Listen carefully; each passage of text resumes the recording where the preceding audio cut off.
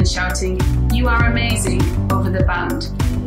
It's introducing them to your colleagues at a work event and basking in pride as they make people laugh and make you look lovable just by dint of being loved by them. It's laughing until you wheeze. It's waking up in a country neither of you have been in before. It's skinny dipping at dawn. It's walking along the street together on a Saturday night and feeling an entire city is yours. It's a big, beautiful, ebullient force of nature. Also know that love is a pretty quiet thing. It's lying on the sofa together drinking coffee, talking about where you're going to go that morning to drink more coffee. It's folding down pages of books you think they'd find interesting.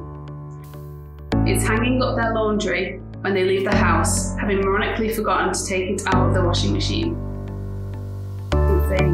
You're safer here than in a car as I hyperventilate on EasyJet flight to Dublin. It's the texts.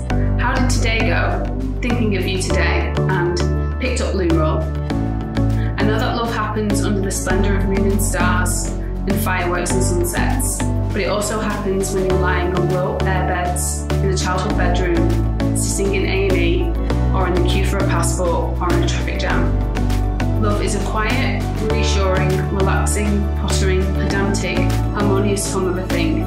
Something you can easily forget is there, even though its palms are outstretched beneath you in case you fall.